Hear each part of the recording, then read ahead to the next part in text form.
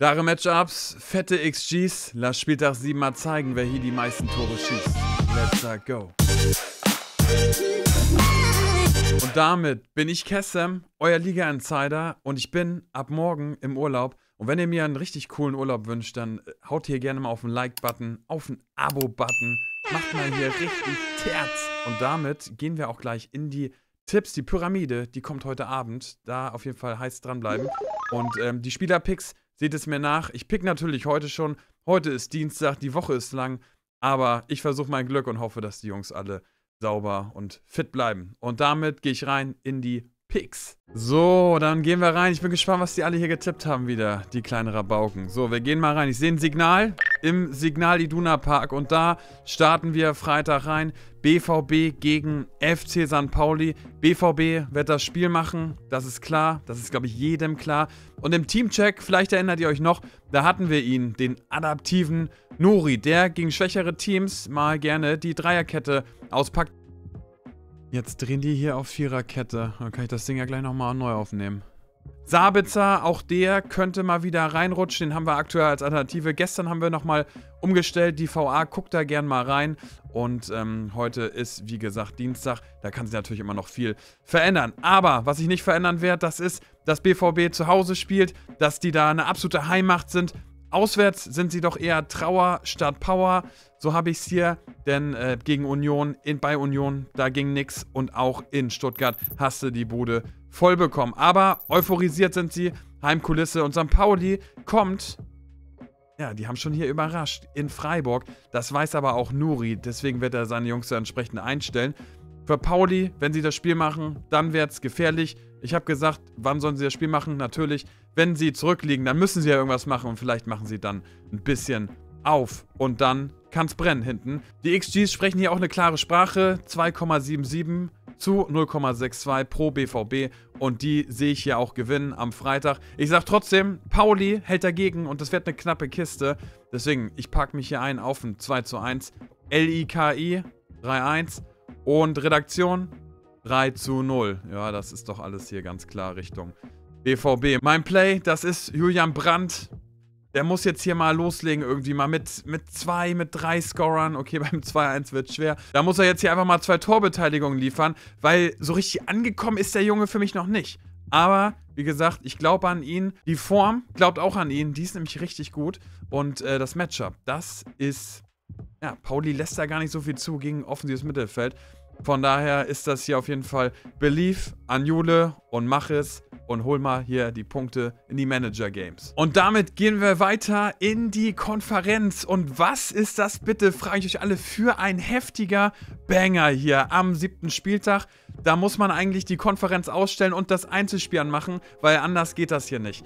Bayer Leverkusen empfängt Frankfurt und ich glaube, die Frankfurter, die sind so euphorisiert wie noch nie. In der Datengold-Folge, die packe ich euch am Ende nochmal rein, da hatten wir das Spiel auch analysiert. Da hatte ich euch drei Stats genannt und die Daten sagen, das geht hier pro Leverkusen aus. Frankfurt ist aber komplett im Flow.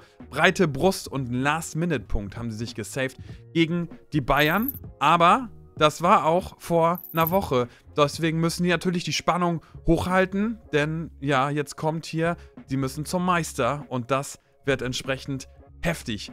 Während der zwei Wochen muss Schabi aber seine Jungs auch nochmal ein bisschen neu einstellen, weil die aktuell eher wackeln. Viele Gegentore, auch gegen Kiel gab es zwei. Und das ist vielleicht das Spiel der Saison für alle Leverkusener. Die müssen jetzt, die haben Druck. XG, klar, pro Werkself, genau ein Tor besser. Und genau das nehme ich nämlich hier auch. Ich nehme hier Xabi Alonso und seine Werkself. Ich nehme das 3 zu 2. Ich glaube, das wird hier ein richtiges Spektakel. Tore auf beiden Seiten. L-I-K-I 2 zu 1. Guter Tipp. Und Redaktion.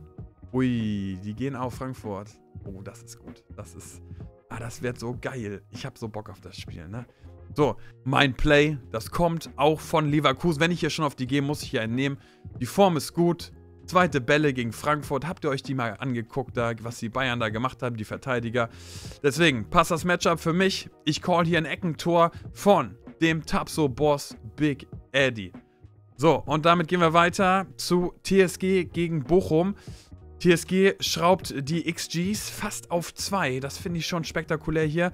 Schnittstellenpässe, die funktionieren gut und da lässt Bochum auch was zu. Das wissen hier auch schon einige von euch. Und es hat ein Jahr gebraucht. Aber Marius Bülter ist angekommen, wurde etabliert durch Kramaric und auch der junge Loschek nimmt immer mehr seinen Platz ein. Bochum wirkt überfordert mit der Saison. Es ist Zeit für Zeitler, aber vielleicht läuft seine Zeit auch gerade eher ab. Das ist mein Gefühl. Wo ist hier der Stöger? Wo ist der Asano-Ersatz, der einfach auch mal aus dem Nichts einen Doppelpack schnürt? Die sehe ich hier nicht. In Bochum fehlt mir einfach der Überraschungsmoment. Das ist so, dass die mal, zum Beispiel letzte Saison konnten die einfach mal die Bayern schlagen, aber davon sind sie aktuell ganz weit entfernt. Und wenn ich euch jetzt auch noch die nächsten Gegner der Bochumer nenne, dann macht ihr hier wahrscheinlich eh die Kiste zu. Bayern, Frankfurt, Leverkusen, Prost, Mahlzeit. Also, ich gehe nochmal zurück zum Überraschungsmoment. Den gab es nämlich von Materazzo in Stuttgart. Damit habe ich nicht gerechnet. Der verlängert damit auch sein Intermezzo bei der TSG und schießt Bochum aus der Arena. Das sage ich hier. Peter ist nämlich kein Fuchs, sonst wäre er auch wahrscheinlich Peter Fox. Sorry, der musste jetzt auch nochmal sein. Ich nehme hier Hoffenheim Big. Ich glaube, die schießen hier richtig raus. 4-1 und Zeitler packt den Koffer. LIKI 2-1 und die Redaktion 2 zu 0. Ja, ob er wirklich den Koffer packt und dann der neue Trainer diese Gegner bekommt, das sei auch mal dahingestellt. Ich packe meinen Koffer und ich nehme mit Marius Bülter. Ihr braucht alle keine Angst haben vor diesem Spieltag. Marius Bülter ist hier der Mann, der hat die Bewegung, die Form ist gut, das Matchup passt auch. Bochum lässt unfassbar viel zu. Tore und Großchancen, eines der schwächsten Teams. Und Bülter findet wieder zu seinem Scoring. Letzten drei Spiele, drei Tore. Von daher Marius Bülter hier mein Play. So, und damit gehen wir weiter. Freiburg gegen Augsburg. Vielleicht das perfekte Spiel für alle Freiburger. Die sind voll im Flow. Das macht richtig Spaß, denen zuzugucken. Die schaffen es sogar aus so einem schweren Bremen-Spiel einfach mal drei Punkte zu entführen. Richtig geil gemacht.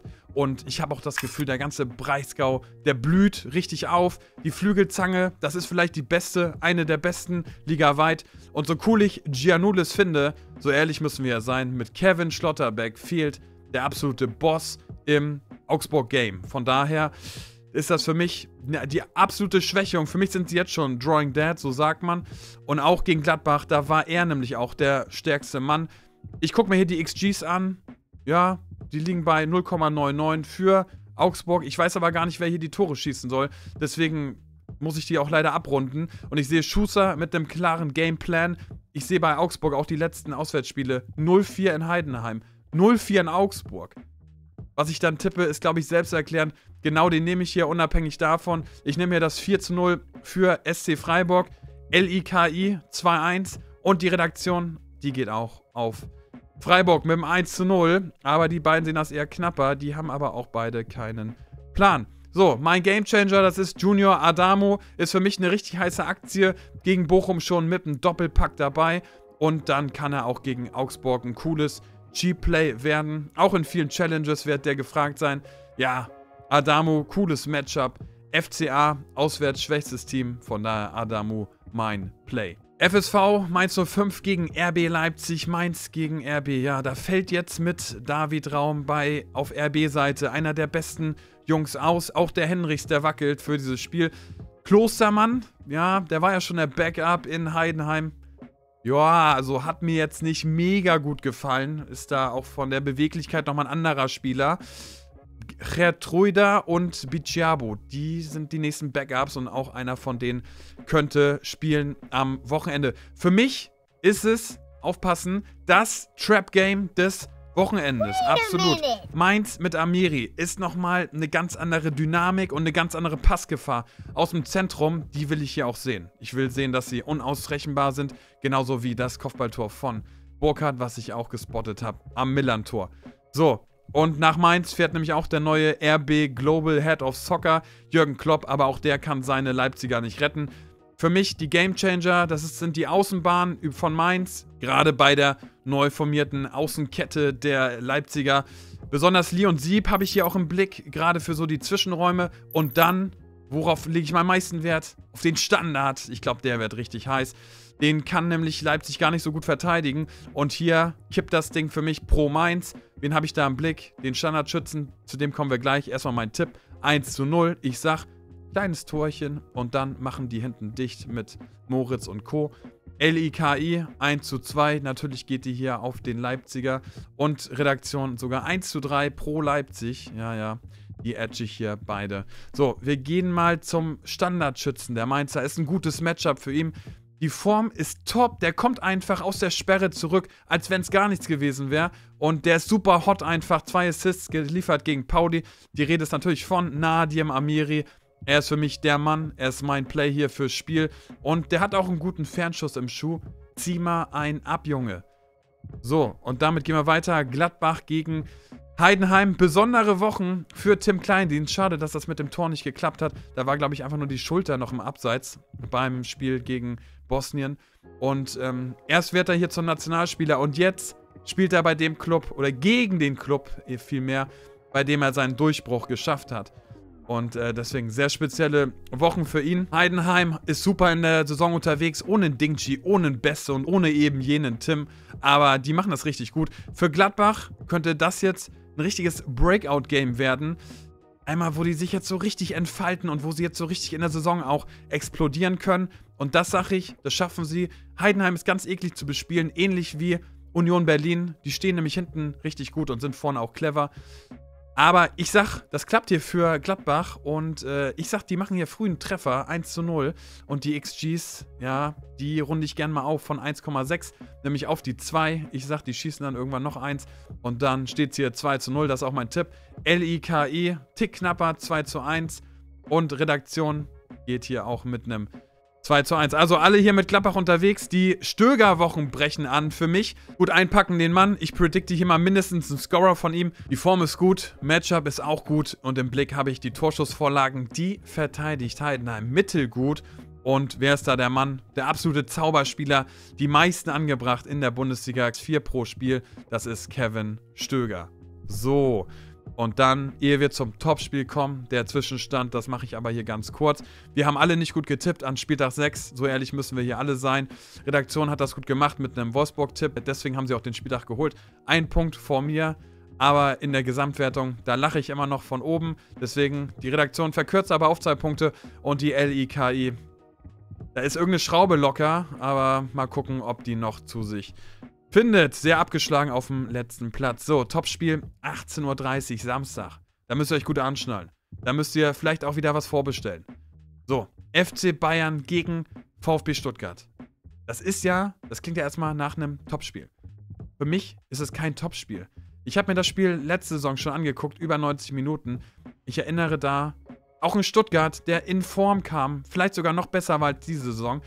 Aber der FC Bayern die haben die so kontrolliert. Das war einfach eine Machtdemonstration und Stuttgart kam einfach gar nicht durch. Ähnliche Vorzeichen sehe ich jetzt in der Allianz Arena und sie müssen aber die Leute fit bekommen. Das ist wichtig. Gestern Morgen habe ich noch gelesen, Trainingsauftakt ohne Jamal Musiala und Upamecano ist auch erst im Individualtraining. Die müssen natürlich äh, fit bekommen, aber FC Bayern ist so loaded. Die werden da schon eine geile Mannschaft stellen und dann werden sie liebe VfB-Fans, habt da Verständnis, werden sie die zerreißen. Ich hoffe trotzdem auf ein enges Spiel, aber ich glaube, dass Bayern jetzt auch nach den Ergebnissen, die jetzt nicht so erfolgreich waren, gerade die letzten drei habe ich da im Blick, dass sie sich da nochmal richtig entfesselt losballern. Und ich gehe hier mit einem 3 zu 1, kann mir das sogar fast noch höher vorstellen. LIKI sagt 2-1. Und also LIKI tippt hier 6 von 7 Spielen 2 zu 1. Also das ist ja hier wirklich eine arme Wurst. So, und was haben wir hier noch? Und Redaktion ist mit mir 3 zu 1. Das sieht doch nice aus. So, mein Spieler, ich gehe hier mit dem Shooting Star. Der ist wieder fit. Ja, die Bundesliga will ihn, die Bundesliga bekommt ihn. Und das ist Alex Pavlovic. Die Form ist unfassbar. Matchup, ich habe hier mal den Pfeil nach oben gedrückt, weil er auch einfach mal so ein Ding aus der dritten Reihe dagegen Leverkusen abfeuert. Das war auch gegen Top-Team und ich will auch wieder Top-Team Prime Pavlo sehen gegen Stuggi. Auf den Sonntag geht's mit Kiel gegen Union. Da sage ich euch vorab, das ist für mich Gruselpartie featuring. Ich fühle hier gar nichts. Ja, Kiel ist zu schwach in der Offensive. Kiel ist zu schwach in der Defensive. Die haben jetzt, okay, alle Kiel-Fans, den Punkt der Saison geholt. Den gab es in Leverkusen. Auch da herzlichen Glückwunsch. Haben sie geil gemacht. Union ist clever. Union ist zu Hause eine richtige Festung. Aber auswärts, da klappt es noch nicht so gut. Zwei Unentschieden da bisher. Ich glaube hier mal ans dritte. Ich sage trotzdem, dass Kiel hinten die Bude dicht macht und dann bleibt es da beim 0 zu 0. LIKI 1 zu 1 und Redaktion geht auf Union. Das ist hier ein sehr guter Tipp, würde ich auch tendenziell eher gehen tatsächlich als auf Kiel. So, mein Pick fürs Spiel, das ist Frederik Rönno. Auf der Nation nur die Bank gedrückt bei Dänemark. In Kiel, da wird er zum Held, das sage ich. Und er ist auch Däne und Kiel liegt auch im Norden. Für ihn fast ein Heimspiel. Deswegen sage ich mal hier, Tag vor Kampen und halt die Bude sauber, mean wenn. So, letztes Game und wir gehen rein. Viele werden hier auf Wölfe gehen. VfL Wolfsburg gegen Werder Bremen. Damit machen wir den Spieltag zu. Werder mit einer bitteren Niederlage im Gepäck gegen die Freiburger. Da waren sie gar nicht so viel schlechter. Also da habe ich sie auch richtig gut gesehen. Da hätte ich ihnen auch safe einen Punkt gegönnt. Aber den holen sie Minimum in Wolfsburg. Das ist hier so meine Prediction, mein Gefühl. Bei Wolfsburg läuft es richtig gut. Das heißt, Werder muss sich hier nochmal richtig resetten. Die müssen hier richtig nochmal den Fokus nochmal, ja, neu shiften während der Länderspielpause. Und dann gehen sie mit Vollgas rein gegen VW. Schwachstelle sehe ich bei VW. Bavro, ja, ja, der ist noch nicht bulletproof. Der hat ein okay, gutes Spiel gemacht gegen Bochum. Und ähm, ja, den könnte man schon vielleicht mal testen. Auf jeden Fall über die Werderaner linke Seite. Da habe ich sie im Blick. Derek Köhn im, in der Kombination natürlich mit Romano Schmid. Die schauen wir uns gleich nochmal an. Ich sag, VfL gewinnt nicht. Ist aber im Flow, deswegen der Flow könnte vielleicht reichen für einen Unentschieden. Ich glaube hier an einen starken Auftritt der Bremer Sonntagabend. Das passt, das haben wir gesehen in Hoffenheim. Frag mal nach. VfL gegen SV Werder Bremen. Ich gehe hier mit dem 1 zu 1. So trenne ich das Ding hier. LIKI. Ich habe es erwartet. 2 zu 1. Und die Redaktion 2 zu 0. Die gehen hier wirklich gegen ihre Bremer. Hochmut kommt vor dem Verrat. So, und dann habe ich sie schon gecallt, die linke Seite. Da haben wir Romano Schmid gerade drin, Topspiel. Der war auch bei der Nazio, der ist heiß, der ist beflügelt. Topspiel gemacht in Hoffenheim, da war der, hat er mir sehr gut gefallen. Gegen Freiburg eher blass, aber der holt sich jetzt seine Formpunkte zurück. Und wie gesagt, gegen rechts, wir haben schon ich mache es mal nicht als Schwachstelle aus, aber ich sag mal so, es ist eine Gefahrenposition für die Wolfsburger und deswegen sage ich mal hier Schmied for the Remy. Yes, Sir. Und damit waren das die Tipps. Ich hoffe, ich habe alle Spiele richtig getippt und ich gehe jetzt in den Schnitt mit Guido. Und zwar bastel ich jetzt die Pyramide zusammen. Und dann hatten wir, wenn ihr zum Spieltag noch ein paar heiße Stats sehen wollt, blende ich euch ein Video ein. Das ist Datengold-Format von letzten Freitag. Und damit bin ich raus. Wir sehen uns später. Tschüss.